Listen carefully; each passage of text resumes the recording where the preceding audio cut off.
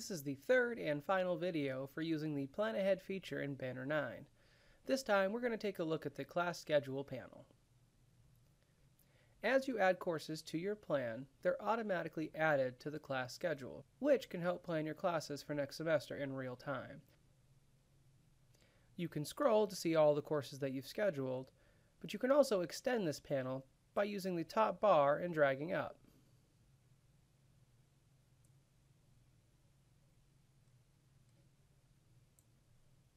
In this example, only four of my classes are showing.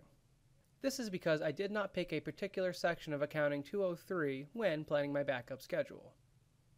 We recommend finalizing your plan and picking specific sections for all of your courses before moving on to the registration process, which will be our next series of videos. Similar to the past two areas, you are able to get more information for each course by clicking on its title.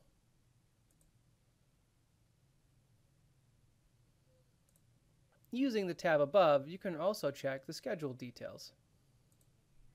This shows you a lot more information for each particular section, including location, room number, and instructor if assigned. There aren't any actions you need to take in this panel specifically, as it's controlled by the neighboring Plan panel, which we reviewed in the previous video.